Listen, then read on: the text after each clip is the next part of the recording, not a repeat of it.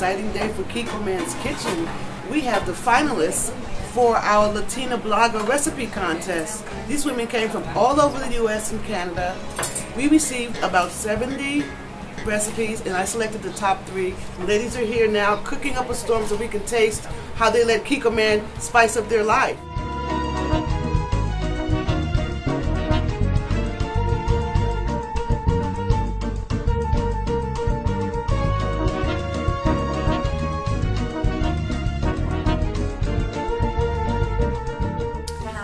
Is Mayra Rodriguez. I, I am with Estilo Familiar and I, I get the opportunity to make a new recipes that I call sushi caribeño and I got inspired uh, in my Latin uh, background, my heritage that is from the Caribbean, from Puerto Rico. The Kikkoman soy sauce is different and more light so it doesn't overwhelm the recipe that you are making up. So I like to in, uh, integrate those uh, ingredients in the recipe and I got the sushi car uh. I was really surprised of being selected by Chef Helen as a winner of the Kikkoman Sabor Challenge and I was able to come here to San Francisco with the two more Latin bloggers and I had a great experience in the kitchen.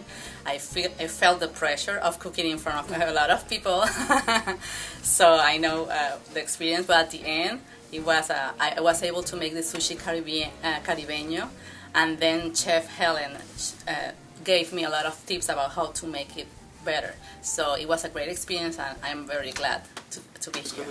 What umami does to the tongue, it opens up your taste buds and you get more flavor in. It is not a flavor itself.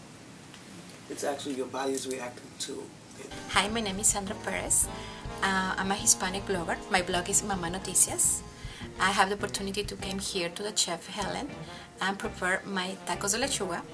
I get inspired for my husband because he loves the tacos and my son loves the Asian food and I find the perfect combination to get a healthy food because I use lettuce for the tacos instead of tortillas and I'm happy to share with my, my readers about the, the Latin um, uh, kitchen using the Kikkoman products and in this case I use the soy sauce and the rice vinegar to my tacos de lechuga. I'm so excited to be here in San Francisco in the Kikkoman headquarters because I know uh, uh, I learn about the products. They have a variety for, especially for the Latinas. We can add that, the, that products are favorite dishes. What do you recommend for the barbecue? Um, pork roast, the chicken, and even the beef, like a, um, and ribs. When you brine it, at least four hours or overnight. I always put it in the cooler with ice. That's what I call layering the flavors from the inside out. Hi, I'm Nancy, and I blog at whisperinspirations.com. And today I'm at Kikkoman's headquarters, and I got to meet Chef uh, Helen Roberts and uh, cook our special dishes that we made with Kikkoman sauces.